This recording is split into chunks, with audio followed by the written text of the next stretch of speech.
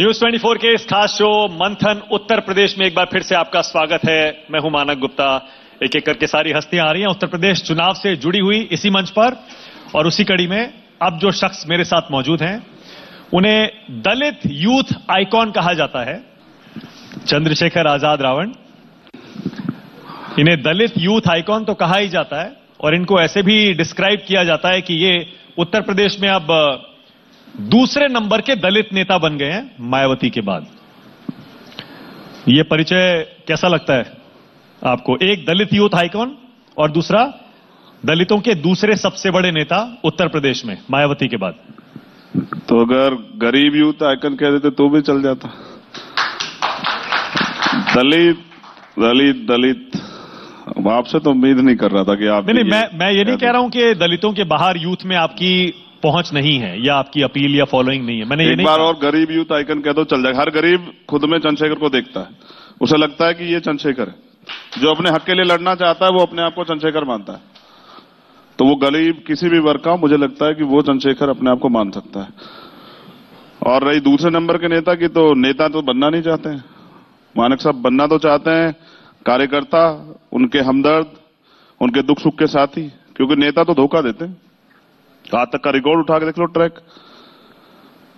90 percent लोग राजनीति में इस चमक धमक के साथ आ रही हैं सोच के कि पैसा मिल जाएगा पावर मिल जाएगी, पद मिल जाएगा, गाड़ी हो जाएगी, बंगला हो जाएगा फार्म हाउस बन जाएगा।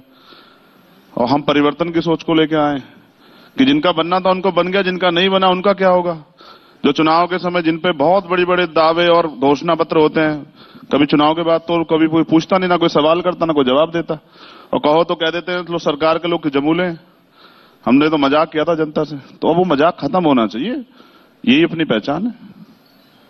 अब जनता के हित की बात हो मुद्दों की बात हो। किसकी तरफ़ इशारा कर रहे हैं आप? राजनीतिक लोगों की तरफ़। नहीं क्योंकि मैंने दूसरे नंबर का नेता कहा तो कहीं पहले नंबर की नेता की तरफ़ तो आपका इशारा नहीं था। नहीं नहीं उनकी तो कुछ उनके पास कुछ है ही नहीं। दो साल दो बार योजना से तो हार रहे हैं। जो सरकार में उनके लिए मैं क्या कह दू? जो सरकार में उनके लिए कह रहा हूँ।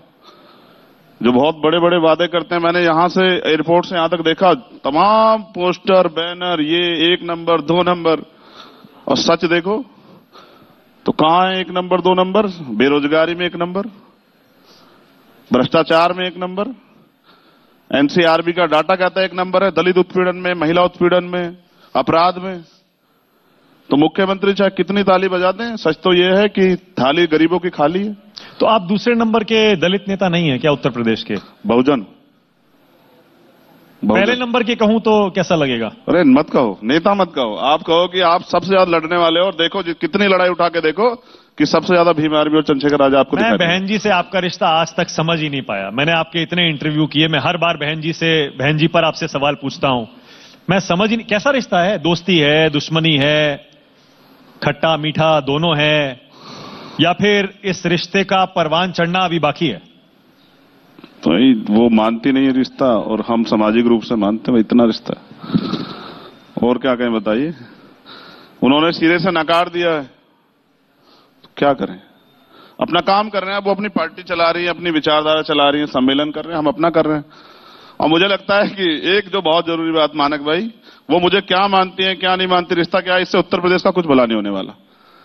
वो ये कहती हैं मतलब वो उन्होंने डायरेक्टली नहीं कहा, उनकी पार्टी के नेता कहते हैं कि आप बहुजन के दलितों के वोट काटने के लिए इस चुनाव में उतरने वाले हैं। स्वागत है। उनको पता ना काट लेंगे।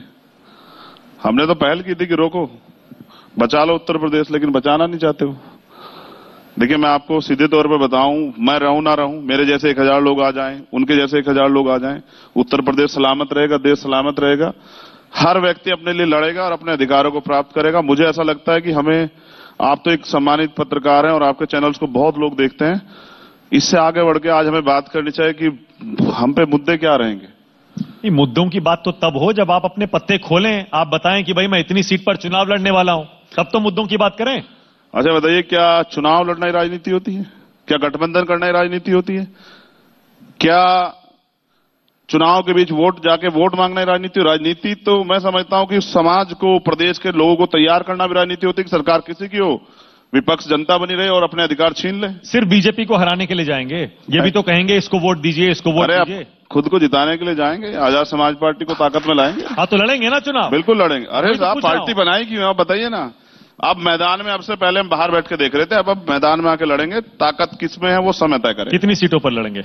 सारी पे भी लड़ जाएँगे संगठन तो सब जगह पे चुनाव का माहौल बन गया है धीरे धीरे चुनावी तैयारियाँ चल रही हैं जब चुनावी समर होगा चुनाव आयोग घोषणा करेगा।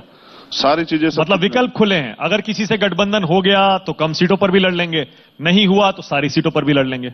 सवाल ये है कि क्या गठबंधन हो जाएगा तो उत्तर प्रदेश के नौजवानों को रोज़गार मिल जाएगा? हमने तो सारी सरकारें देखी हैं। सात से बारह की हो बारह से सत्रह की हो सत्रह से ये झेल ही रहे हैं साढ़े चार साल। इससे बुरा तो नहीं देखा?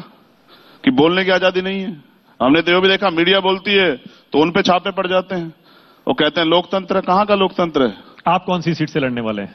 चुनाव। सोचा है कुछ? जहाँ पार्टी कहते हैं हम तो अनुशासित वर्कर हैं पार्टी। अरे पार्टी आपकी है। आपको ही बताना है। चंद्रशेखर आज़ाद को ही खुद बताना है कि चंद्रशेखर आज़ाद कहाँ से चुनाव लड़ेंगे। और आप कह रहे हैं पार्टी बताएगी। हमारे यहाँ ना लोकतंत्र है। जो सामने लोग बैठे हैं जिनमें हमारे बहुत सारे लीडरान हैं। तो ऐसा नहीं कि नेक्स्ट पीएमबीएम नेक्स्ट सीएमबीएम ऐसा नहीं है हमारे यहाँ। हाँ। जिसको पार्टी चेहरा बना देगी उत्तर प्रदेश में तो उत्तर प्रदेश में सिर्फ़ काम नहीं करता हूँ महाराष्ट्र भी जाता हूँ बंगाल भी जाता हूँ राजस्थान भी जाता हूँ। तो बेसिकली अब बनने बनाने से ज़्यादा प्रयास ये करना है कि उत्तर प्रदेश के लिए कुछ अच्छा किया जाए क्योंकि ये जो व्यापार की राजनीति है जिस राजनीति में सिर्फ़ पैसे वाले हैं गरीब लोग नहीं है उसमें कहीं ना कहीं हिस्सेदारी बनानी है। और अब उत्तर प्रदेश की जनता के बारे में सोचना जो अब देखिए। आप खुद को कांचीराम का चेला बताते हैं ना। बताता हूँ नहीं हूँ। साबित कर दो नहीं हूँ। आप बता दो कोई नहीं वो तो बहन जी तो कहती हैं कि कांशीराम की पार्टी तो बहुजन समाज पार्टी है।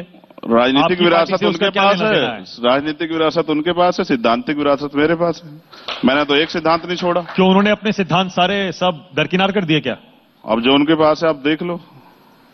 क्या है? अगर सिद्धांत के रूप में अगर हाथी से गणेश बनता है ना तो हाथी की हत्या होती है। आप पढ़ लेना और मैंने पढ़ा हुआ हाथी से गणेश बनने की प्रक्रिया में हाथी की हत्या होती है, बिना हाथी की हत्या गणेश नहीं बनता है।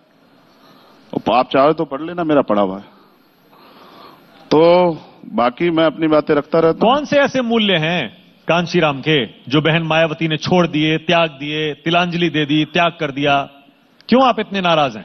कौन सा मूल्य है बताइए। ये बताए मेरे आपके कहने से कोई बदल जाएगा क्या? आइए हम अपनी बात करते हैं उत्तर प्रदेश छोड़िए। वो बदले ना बदले अगर वो अब रिटायरमेंट का टाइम हो गया है छोड़िए अब आप आइए ना वो तो बीता हुआ कल है। आप आने वाले कल पे बात करिए दलितों का क्या होने वाला देश? तो आप क्यों बात क्यों नहीं करते बहन जी से? क्यों नहीं कहते कि अब आप रिटायर हो जाइए अब आपका टाइम हो गया? और मुझे आने दीजिए। ये देखिए ना आपके यहाँ पोस्टर लगा हुआ हर पार्टी के नेता का। देखिए बीजेपी से योगी जी हैं समाजवादी से अखिलेश जी और बसपा से सतीश मिश्रा जी हैं। हाँ। बताइए आपके यहाँ मायावती जी का पोस्टर कहाँ है? हाँ। अब उनसे वो खुद ही नहीं अब तो उन्होंने दे दिया मिश्रा जी को कि मिश्रा जी चलाएँ जैसे चलानी है। तो मिश्रा जी से आपके यहाँ जो है वो जय भीम हो जाती है। जब आपके मंच पे मिलता किसी और मंच पे हो जाती है। सवाल ये है कि इस आज़ादी में भी सत्तर साल से गटर में उतर रहे हैं और मर रहे हैं हर साल लाखों की संख्या में मरते हैं कोई नहीं पूछता। बिना सुविधाओं के, बिना जो इक्विपमेंट्स है, उनके बगैर उतरते हैं। और मेहनत करते हैं, फिर भी दलित कहलाते हैं। कुछ लोग जो सोच से दलित है, उन पे चर्चा नहीं होती। हम पे, हम इसलिए दलित हैं, कल से तो देख रहा हूँ मुख्यमंत्री पे चर्चा हो रही। दलित मुख्यमंत्री बन गया, अरे, क्या चार हाथ वाला है? क्या छह पैर वाला है? इंसान ही तो है। दलित तो सिस्टम ने बना रखा है। अच्छा ओके, मैं ये मान के चलता हूँ कि जिस बीजेपी की सरकार ने आपको एनएसए लगाकर जेल भेजा था, साल भर के लिए आप उसके साथ तो नहीं जाएँगे चुनाव में? बिल्कुल नहीं जाऊँगा। कभी भी? कभी नहीं मरते दम तक। क्योंकि राजनीति संभावनाओं का खेल है। जब पुराने कट्टर दुश्मन भी दोस्त बन जाते हैं बहन जी और अखिलेश भी साथ आ सकते हैं। दो ही तो विचारधारा है मनुवादी और अम्बेडकरवादी तो अम्बेडकरवादी विचारधारा अगर उधर चली जाएगी तो कुछ बचेगा ही नहीं इस देश में एक ही विचारधारा हो जाएगी। अच्छा ओके। बीजेपी के साथ कभी नहीं जाएँगे? नहीं जाएँगे कभी। ओके। आज स्टेटमेंट दे रहे हैं जिस दिन ये कर दें आप एक बार वो कर देना हाल तो कर नहीं रहे पहले बता रहे हैं। जब तक ज़िंदा है तब तक तो नहीं करेंगे। ठीक है बहन जी के साथ? अब हो सकता है 2022 के बाद वो सारी पार्टी इधर हो आज़ाद समाज पार्टी में आप देख लेना। हालात तो अभी भी ऐसे हैं आप देख लीजिएगा। पर जब लड़ाई एक ही है बहुजनों की है दलितों की है तो फिर साथ तो आ सकते हैं ना। मतलब तो खुला है ना। उनसे अगर कह रहा हूँ। फ़ोन करें। उनसे कह रहा हूँ कि वो जी फ़ोन करें। रावण चंद्रशेखर जो भी वो बुलाती हैं आपको। कभी मुलाकात हुई है? आप बताते रहिए आगे बढ़िए आगे हाँ। बढ़िए। कहें कि आ जाओ मिलना है। आओ चाय पीते हैं। तो जाएँगे या नहीं जाएँगे? जाएँगे ना? बुलाएँगे चला जाऊँगा। लेकिन एक सत्य है कि आज़ाद समाज पार्टी को ही चलाऊँगा उसी का वर्कर बनकर रहूँगा। बुलाएँ कुछ भी करें। गठबंधन नहीं करेंगे। मैंने क्या गठबंधन तो अलग बुलाने का मसले तो। पे वो कह रहा हूँ। हाँ। मैं तो कह रहा हूँ उनको कि वो छोड़े जिद 2022 में युवाओं को मौका दें 24 में उनको प्राइम मिनिस्टर हम बना देंगे क्या दिक्कत है? हमें क्षमता है। अच्छा मतलब आप ये कह रहे हैं कि वो केंद्र की राजनीति करें और आपको उत्तर प्रदेश की राजनीति चार करने चार बार सीएम रह तो गई हैं। हाँ। आप प्रधानमंत्री बने और हमसे कहें कि बनाओ देखो खून का अच्छा तो चाय पीने जाएँगे तो आप उनको यही कहेंगे? आप कह दो आप दिल्ली की राजनीति आपके मंच ऐसा नहीं कि हमें नहीं सुनते हैं। उनका एक एक नेता सुनता है। हाँ। हमारे तो सुनता उनका सुनता विपक्ष के लोग भी सुनते हैं। सब लोग सुनते हैं और कह रहे हैं कि अगर वो जिद छोड़े तो प्रधानमंत्री बनाए उनको। अब आज़ाद समाज पार्टी से बनाएँगे अच्छा मैं सीधे सीधे पूछ लेता हूँ और क्लियरली बोलिएगा ईमानदारी से। देखिए अब चुनाव नज़दीक आ गया है अब इन सवालों से बचने का कोई फ़ायदा नहीं है। सीधे सीधे बताइए उत्तर प्रदेश में जो बहुजन है जो दलित है वो कितना प्रतिशत आपके साथ कितना प्रतिशत बहन जी के साथ? देखिए ये तो आपके पास सर्वे आप लोगों ने करा। मैंने करवाया आप कहोगे कि भाई आपका क्या नतीजा है बता दीजिए। हमारे एक सर्वेयर यहीं बैठे हुए जिन्होंने कराया सत्रह परसेंट वो कह रहे हैं कि अभी वोट आ रहा है आपको। आपको। हाँ पूरे उत्तर प्रदेश में सत्रह परसेंट वो कह रहे हैं। मैं उस दिन से दलितों का या पूरे जिस ओवरऑल जो बहुजन समाज का वोट है सत्रह परसेंट वो कह रहे हैं। आपको? हाँ मैंने उनसे कहा कि ठीक है अब उनका मैंने करवाया नहीं और उनका आप करवा लो। या उनका मिश्रा जी बता सकते हैं। मैं आपको क्या कह रहा हूँ? एक? बात बता सारा तो बीजेपी ले गई दलितों का वोट बचा कहाँ है? भरा में दूर हो जाएगा। आतरस बिल्कुल उसमें अनीस कनौजिया बिल्कुल उसमें। कल परसों आतरस जा रहा हूँ। उस घर के आगे जो है ना कबाड़ उबाड़ खूब डाल दिया है। सरकार ने बहुत वादे किए थे कुछ नहीं किया नौकरी नहीं दी घर नहीं दिया मरने के हालात पे छोड़ रखा है परसों फिर जा रहा हूँ अपने परिवार को देखने। बीजेपी कहती है दलित पहले हिंदू है जाति बाद में है। आप लोग तो नहीं कह रहे हैं कौन कह रहा है? मैं तो कल से सुन रहा हूँ कि दलित सीएम बना दिया दलित सीएम बना दिया दलित सीएम बना दिया। आपने तो नकार दिया ना कि दलित हिंदू नहीं है। ये तो साफ़ हो गया ना। हाँ। ये कहा कहा कि हिंदू सीएम बना दिया। ये कहा कि दलित सीएम बना दिया। और हमें तो अधिकार इसलिए मिले कि हम हिंदू नहीं हैं। नहीं बीजेपी का बड़ा क्लियर स्टैंड है कि पहले हिंदू बाद में जाति। आपका क्या स्टैंड है? दलित हिंदू है या नहीं है? नहीं दलित हिंदू नहीं। दलित हिंदू नहीं है? नहीं बिल्कुल नहीं। और बीजेपी चुनाव से पहले बताती है हिंदू। चुनाव के बाद इन्हीं की खाल तारती है। इन चुनाव से पहले प्रधानमंत्री इन्हीं के पैर धोते हैं और चुनाव के बाद तो दलित की क्या। जाति है फिर? दलित की जाति दलित है। अनुसूचित जाति शेड्यूल कास्ट दिया अलग से एक वर्ग पूरा। हिंदू नहीं है? नहीं नहीं हिंदू है। अपना कल्चर है। तो आप अपने आप को हिंदू नहीं कहते? नहीं नहीं हूँ बिल्कुल साफ़ तौर पर बिल्कुल कह रहा हूँ। बिल्कुल नहीं। अरे आप आप बताइए ना फिर दलित कौन है? जिसकी चर्चा हो रही है आपके सबके चैनल पे कि दलित को सीएम बनाया पूजा पाठ नहीं क्या आपने कहा ना कि आप बताइए ना छोड़िए ना ये बताइए कि आपने कहा कि हिंदू सीएम बनाया क्यों चर्चा कर रहे हैं पंजाब में दलित सीएम बनाया आप ही तो बता रहे हैं कि हम दलित हैं हम हिंदू नहीं हैं। हमने तो उस व्यवस्था में सदियों से मार खाई है सदियों से अधिकारों से वंचित रहे चाहते तो बाबा साहब दूसरा देश बना देते। पूजा पाठ मैं क्या कह रहा हूँ? देखिए बाबा साहब का राष्ट्रवाद देखिए ना दूसरा देश चाहते तो बना देते पाकिस्तान की तरह। लेकिन लड़े और इसी में रहा कहा कि इसी को सुधारेंगे। और नहीं सुधार पाए तो बौद्ध धर्म ग्रहण किया। ओके okay, आप पूजा पाठ करते हैं? मैं तो ये कहता हूँ कि भगवान अगर इतना कमज़ोर हो गया कि उनको ऐसे भक्तों की ज़रूरत पड़ रही है जो राम नाम पे हत्या करवाते हैं तो मैं तो नहीं मानता हूँ। जो जिसने सृष्टि बनाई जिसकी चर्चा होती है कि सब कुछ उनके यहाँ चल रहा है वो इतना कमज़ोर है कि इनकी ज़रूरत पड़े। जो कहते हैं कि हम घर बना रहे हैं कर रहे आपने कभी भगवान में विश्वास नहीं किया या फिर कभी विश्वास उठ गया बाद में? ऐसा हुआ है जिस दिन जान लिया जिस दिन काशीराम साहब को सुन लिया बाबा साहब को पढ़ लिया ज्योतिबा फूले से ज्ञान प्राप्त कर लिया छत्रपति साहू जी महाराज बाबू जगदेव प्रसाद कुशवाहा को जन्ना कपूर ठाकुर पढ़ लिया कि किस हालात से निकल के आए? पैरिया रामास्वामी नायकर को जान लिया पढ़ लिया उस दिन तो छोड़ दिया। लेकिन सारा का सारा दलित तो चला गया बीजेपी के साथ। देखिए हमारे यहाँ कि हाँ हम हिंदू हैं और बाकी वजहों से भी। हमारे यहाँ घर पे रविदास जी को मानते सतगुरु रविदास जी महाराज। हाँ। और वो उन्होंने कहा, मन चंगा तो कटौती में गंगा। अगर आपका मन साफ़ पवित्र है तो आपको कहीं जाने की ज़रूरत नहीं है। तो लड़ाई तो अधिकार की है। मैं क्या करता हूँ? मैं कौन हूँ? मैं रहूँगा, नहीं रहूँगा, इससे फ़र्क नहीं पड़ता। लेकिन मैं ये बता रहा हूँ, वो दिन गए।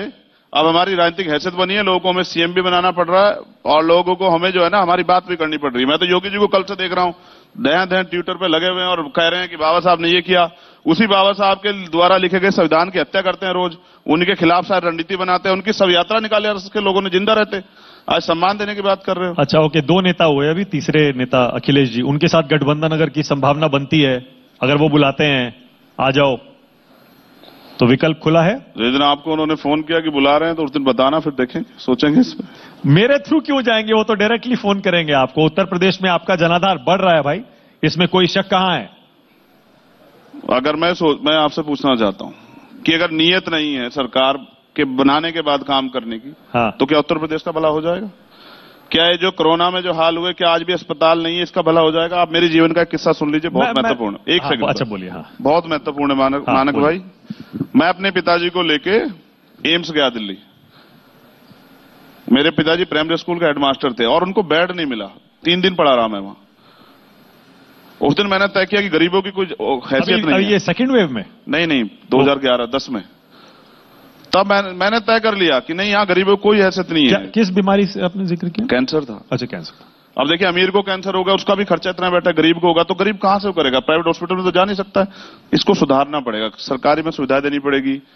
सरकारी स्कूल में सुविधा देनी पड़ेगी। मैं कह रहा हूँ कि सबको अवसर मिलना चाहिए ना मिल नहीं रहा है। अच्छा अखिलेश के नाम पर मैंने एक एक डेढ़ सेकंड का एक पॉज देखा। जी। आप रुक गए थे एक डेढ़ सेकंड के लिए। और मैं तो क्या अखिलेश के लिए मन में कुछ सॉफ्ट कॉर्नर है क्या? नहीं मैं यहाँ बैठा अखिलेश हुआ आपको सबसे पसंद है क्या? मैं चल कहाँ रहा हूँ? मैं तो बैठा हुआ हूँ। रुकने की बात तो ऐसी है। बोलने में पॉज आ गया आपके। नहीं मैं अपनी तस्वीर भी देखता रहता हूँ ना अपनी हैसियत को नापता रहता हूँ कि कैसा दिख रहा हूँ। तो एक बार मूछों पे ताप देके दिखा दीजिए एक बार। अपने उन फैंस के लिए जो दल, आपके यूथ में फॉलोइंग है ना? वो मेरे काम से मुझे प्यार करते हैं मुझसे से नहीं करते। वो तो जानते हैं कि ये व्यक्ति वो शख्स है जो हाँ। बिकेगा नहीं। जो टूटेगा नहीं सीबीआई ईडी इनकम टैक्स की वजह से अपने सिद्धांतों से नहीं भटकेगा। आटा लू सूरज पश्चिम से जो है निकल सकता है चंद्रशेखर नहीं झुक सकता। मुझे याद है जब जेल से आप निकले थे तब आपने मूछों पर यू ताप दिया था। हमेशा देता हूँ। वो स्टाइल से ज़्यादा इस बात का संकेत देता है कि आप डरते नहीं झुकते नहीं। इसीलिए मैंने आपसे मैंने कहा ना कि पैसा कमाने और वो सब चीज़ें करने के लिए परिवर्तन के लिए आया कि हज़ारों साल के बाद आज भी अगर इस देश में बराबरी के अधिकार नहीं मिल रहे हैं समानता की बात नहीं हो रही है तो होना चाहिए। ठेकेदारी पे जो है आज भी जो सफ़ाई कर्मचारी मर रहा है उसकी जीवन पे बात होनी चाहिए। अच्छा ओके। कांग्रेस रह गया। राहुल गांधी प्रियंका गांधी। प्रियंका से तो आपकी बाकायदा मुलाकात भी हुई है। अच्छे रिश्ते भी हैं आपके। सब जानते हैं।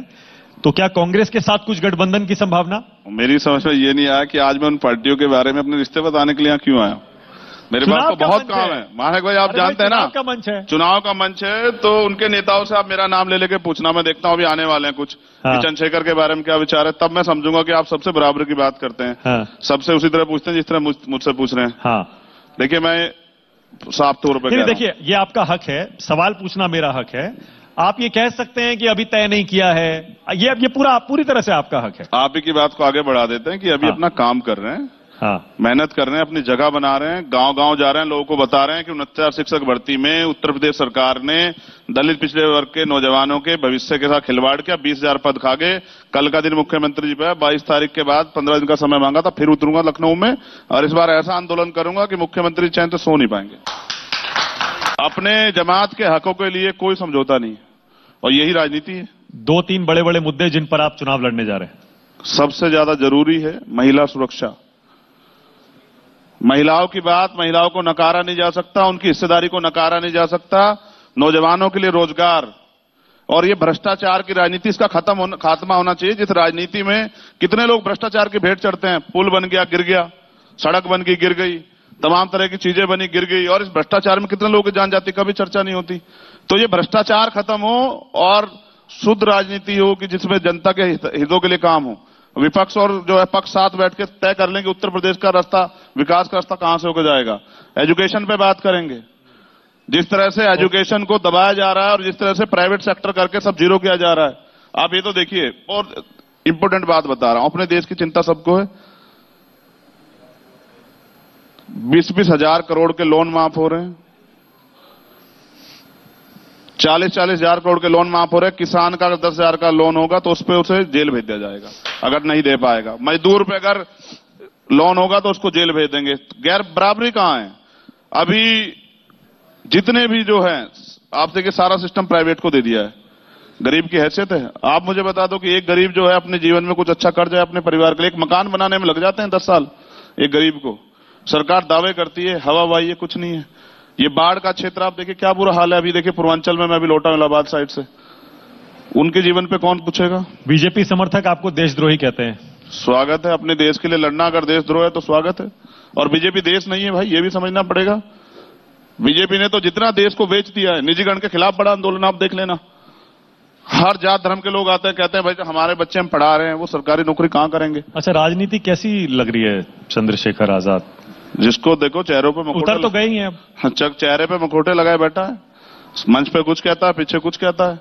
और अगर इतने अच्छे होते राजनीतिक लोग तो आज ये हैसियत ना बनी होती। हमारे जैसे लोग ज़रूरत क्या पड़ी? अच्छा बताइए स्पेस बना ना कि उनकी बात नहीं हो रही थी। जिनके लिए हम बार बार कह रहे हैं उनकी बात नहीं हो रही थी उनको अधिकार नहीं मिल रहे थे ये स्पेस बना तभी तो आज हम यहाँ मैं क्या कह रहा हूँ? बहुत इंपॉर्टेंट बात। उत्तर प्रदेश के नज़रिए से। मुख्यमंत्री कितने ज्ञापन लगवा लें कितने विज्ञापन और वो जनता का पैसा। देखिए तो जो जनता सरकार, जिसके टैक्स से सरकार चलती है, वो जनता लाइन में खड़ी होती है, नेता वीआईपी वो करते हैं। क्यों? क्या जनता के पैसे तो चलती है ना? सरकार तो कोई पैसा नहीं लाती। और उस पैसे का विज्ञापन लगाने का अधिकार किसको किसने दिया आपको? वो जनता की एक एक मेहनत, खून पसीने का पैसा उसको आप कैसे लगा रहे हो विज्ञापन में? ये जो तमाम तरह की जो ना, लूटने, कसोटने की, झूठ की, धर्म, संप्रदायिकता की राजनीतिक अंत होगा और किसान बोर्ड लगा मैंने एक इंपोर्टेंट बोर्ड देखा झूठ भी कितना खुले में बोलते हैं बीजेपी के लोग कि किसानों का सारा जो है कन्या भुगतान कर दिया। अरे हम आते हैं कन्या खेती से। मेरी माँ का सुबह फ़ोन आया घर की बात बता रहा हूँ कि वो पेड़ खड़े हैं ना नब्बे पेड़ है वो छियालीस हज़ार रुपए दे रहे हैं। हमने कहा कि एक पेड़ एक हज़ार का भी नहीं हो रहा। तो कहा कि वो कह रहे हैं कि ऐसी कीमत हो रही है देखे ना तो क्या हालात हैं? हम भी तो किसान हैं हम जानते हैं। अच्छा आप जब जा ही रहे हैं आखिरी सवाल है मेरा आपसे। आप जा ही रहे हैं सब जगह घूम ही रहे हैं। जी। तो आपका फीडबैक क्या ज़मीन से आ रहा है? ग्राउंड ज़ीरो से क्या है? इस बार बीजेपी को कितनी सीटें आने वाली? और कौन हाँ कौन जीत रहा है? मैं आज़ाद समाज पार्टी का कार्यकर्ता हूँ। आज़ाद समाज पार्टी के बारे में रोड ज़मीन से जान रहा हूँ। बीजेपी का क्या होगा? बीजेपी रहेगी बीजेपी हारेगी ना? आप तो हराने के लिए निकले हाँ हारेगी। हारेगी।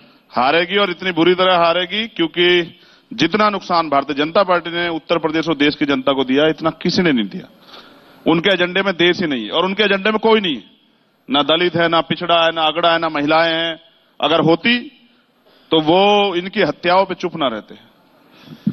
अब समय चला गया, मैं प्रदेश की जनता को भी कहना चाहता हूँ, समय चला गया कि धर्म और संप्रदाय की राजनीति हावी थी मुद्दों की राजनीति होगी, रोज़गार की राजनीति होगी, महिला सशक्तिकरण, सुरक्षा की राजनीति होगी, अब जो है एजुकेशन की राजनीति होगी। कभी मुजफ्फरनगर ना औद्योगिक शहर हुआ करता था साहब। और आज देखिए दंगा का जिला बना के रख दिया है। कभी उत्तर प्रदेश में उद्योग था आज देखिए नौकरियाँ कहाँ हैं? सब ज़ीरो कर दिया है। मेरे पास टाइम खत्म हो गया है लेकिन शुक्रिया बहुत शुक्रिया। के लिए आए और आपने सारे तीखे सवालों के बड़ी साहस से बड़ी बहादुरी से जवाब दिए। मैं शुभकामनाएँ देता हूँ आपको। देनी चाहिए। मेरी शुभकामनाएँ आपके साथ क्योंकि देखिए मैं उत्तर प्रदेश की जनता के साथ हूँ। जनता के पास जितने ज़्यादा विकल्प हो उतना अच्छा है। उतरिए चुनाव में। ताकि जनता को विकल्प मिले और आपको भी पता चले कि वाकई जो सोशल मीडिया पर मीडिया में आपको इतना दिखाया जाता है आप छाए रहते हैं चुनाव में आपके साथ कितने लोग हैं? आपको भी इस बात का पता चलेगा। मैं आपकी शुभकामना का आदर्श आभार करता हूँ। मैं आपसे ये भी कह रहा हूँ कि नौजवान नए लोगों को मौका मिलना भी चाहिए। पुराने लोगों को तो देख चुके तभी तो उनकी सरकारें गई हैं। अब नए लोगों को मौका मिलना चाहिए। और जब कुछ अच्छा नहीं करेंगे तो फिर उनको बदल देना चाहिए। तो हम अच्छा करेंगे और 2022 में उत्तर प्रदेश से भाजपा का जाना तय। युवा नेता चंद्रशेखर आज़ाद रावण का एक बार तालियों से धन्यवाद कर दीजिए। थैंक यू बहुत बहुत धन्यवाद। बहुत, बहुत शुक्रिया। जय भीम। चंद्रशेखर आज़ाद।